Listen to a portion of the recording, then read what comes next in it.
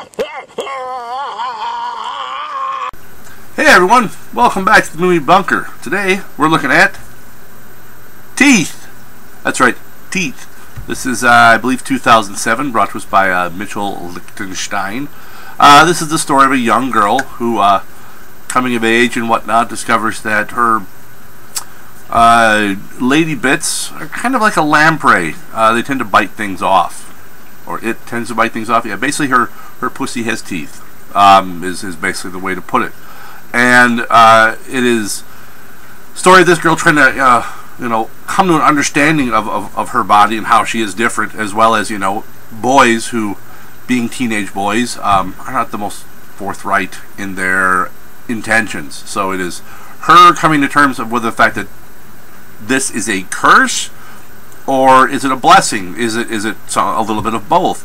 Is this something that she can uh, learn to use uh, to her benefit? This movie, I mean, obviously, any movie where the main focus is a girl with uh, uh basically a, a dick-eating pussy, uh, doesn't really eat it; it spits them out.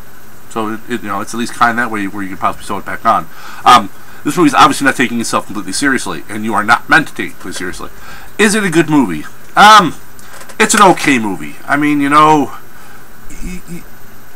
you know what you're expecting going in. I would, I would assume, um, you know, to to the point where, as I said, teeth with, you know, pussy with teeth. I mean, what are you expecting this movie to be? It's this is not high art. Um, I still think the movie itself it was a little slow at times, and I, I think it could have been a little better. But for the most part, it delivered what it promised, which was, I mean, it didn't necessarily promise it, but I'm assuming when you have a movie with pussy with teeth, that a dick's can get bit off at least once, and it, it, it delivered that. So pretty much, it delivered what I expected it to deliver. Um, I like the way the movie ends. Um, I, I, think it actually ends in, in, in, a way that I think is fitting for the character as well as the overall story. Um, scale of 1 to 10, oh man. Um, uh, this is kind of, well, you know, it's kind of like puberty. Um, in some ways, it sucks a lot. In other ways, it's kind of like you're, you're discovering new things and you're, you're exploring new things, and that's what this girl's going through. She's discovering and exploring new things.